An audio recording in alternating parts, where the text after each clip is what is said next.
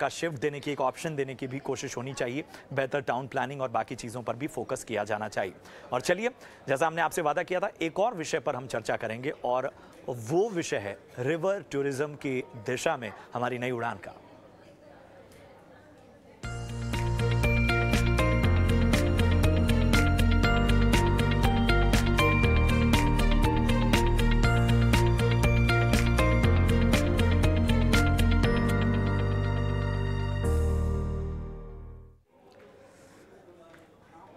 North India की lifeline कही जाने वाली गंगा नदी पर फाइव स्टार जैसे आलिशान क्रूज की शुरुआत हो गई।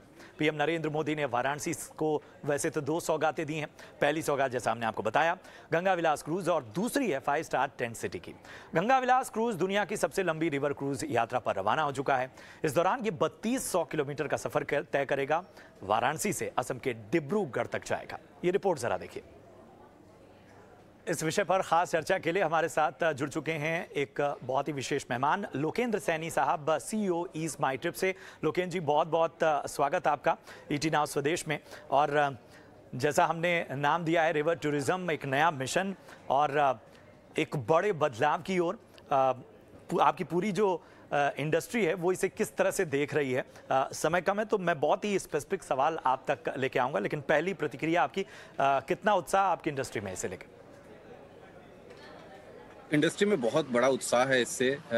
यू नो क्रूज एक ऐसी चीज़ है जो काफ़ी एक्साइटिंग रही है हॉलीडे पे जाने वाले लोगों के लिए। अभी तक हमने इसको अच्छी तरह से एक्सप्लोर नहीं किया था। ज़्यादा हमने इसके अराउंड अभी तक पैकेजेस नहीं बनाए थे। और ना ही इस तरह की हमारा इंफ्रास्ट्रक्चर था कि जहाँ लोगों के पास काफ़ी क्रूज चूज़ करने के ऑप्शन हों।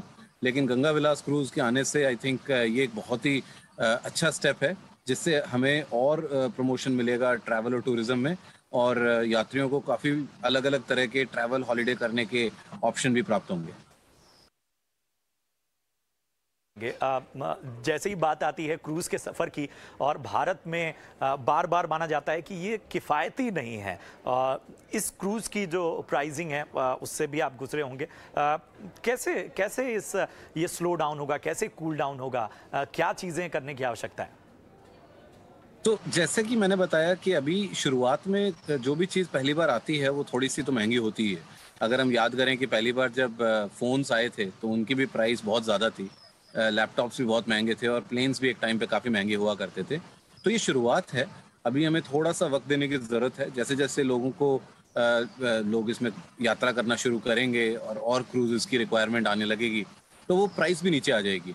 क्योंकि जहाँ तक आप देखेंगे, अगर आप विदेशों में अगर आपने यात्रा की है तो क्रूज बहुत महँगे नहीं होते हैं। अगर हम उन्हें कंपेयर करें होटल स्टे और जो ग्राउंड में आप गाड़ी लेंगे घूमने के लिए, उन सबको अगर मिलाएँगे तो कुल मिला के क्रूज थोड़ा सा ही उससे 10-20 परसेंट ऊपर चार्ज करते हैं आपसे। लेकिन वो जो एक्सपीरियंस आपको देते हैं, उसके लिए आप शायद थोड़ा सा एक्स्ट्रा भी अगर पे करेंगे तो ठीक है। मुझे लगता है कुछ वक्त हमें इंतज़ार करने की ज़रूरत है, तीन से छः महीने। और उसके बाद जितने, थोड़े से क्रूज और अगर आ गए हैं हमारे रिवर्स में या सराउंडिंग समुद्रों में तो आई थिंक काफ़ी इसमें प्राइस डाउन होने के आशंका है। बिल्कुल बिल्कुल। और अगर हम भारत में क्रूज बिज़नेस को देखें तो किस तरह का रिस्पांस मिला है हाल फ़िलहाल? हम कोविड वाले हिस्से को अगर निकाल भी दें हमने देखा कि बड़ा उत्साह था शुरुआत में। क्या इस तरह की पहल से उस उत्साह में और तेज़ी आई है। या अभी भी इसके लिए अवेयरनेस जो है, वो थोड़ी कम है रेगुलर ट्रैवलर्स में? देखिए, हमारे ईजमा ट्रिप पे तो हमने क्रूज की बुकिंग हमेशा बढ़ते हुए ही देखी है। जैसा कि आपने कहा कि कोविड का पीरियड अगर हम निकाल दें तो इस साल भी हमारी क्रूज की बुकिंग पिछले साल के मुकाबले तीन गुना हो चुकी है। लेकिन साथ ही मैं आपको एक बात और भी बताना चाहूँगा कि ज़्यादातर क्रूज की बारे में लोगों को तभी याद आता है जब वो विदेशी यात्रा कर रहे होते हैं। और उसकी एक वजह बिल्कुल जैसा आपने सही बोला कि अवेयरनेस की और क्रूजेस की कमी होना भी है। क्योंकि बहुत लिमिटेड नंबर ऑफ़ क्रूज अभी हैं हमारे पास। कुछ, एक दो क्रूज कंपनीज़ हैं जो गोवा से पौंडीचेरी या मिड सी वगैरह करते हैं कुछ क्रूज कंपनीज़ लेकिन जैसा कि इंडिया अब एक काफ़ी फास्ट ग्रोइंग ट्रैवल कंट्री बनता जा रहा है। काफ़ी लोग यहाँ से यात्रा करते हैं।